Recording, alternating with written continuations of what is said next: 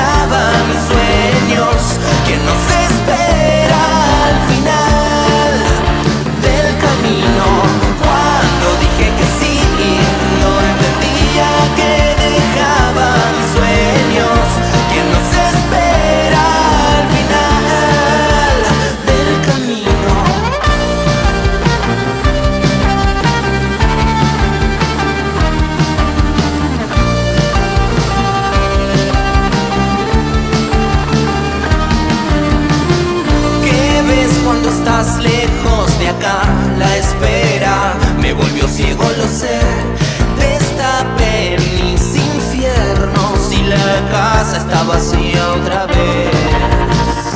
¿Y quién está frente al espejo? Se parece.